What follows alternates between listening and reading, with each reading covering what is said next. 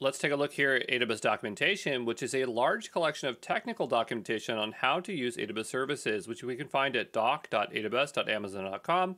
Uh, and so this is kind of like the landing page where you can see all the guides and API references. If you expand them in there uh, into EC2 and you click on the user guide, you can see HTML in, PDF format, Kindle, and you'll notice there's a link to GitHub, and that's because all of these docs are open source and you can contribute to them if you choose to do so. I've done so uh, multiple times in the past. It's quite fun.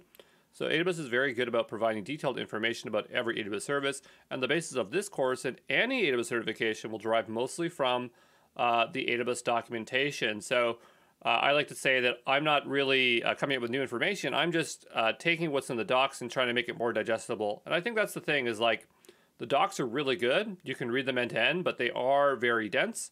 Um, and so it can be a bit hard to figure out what you should read and what you should not. Um, but uh, they are a really great resource, and you should spend some time in there, okay?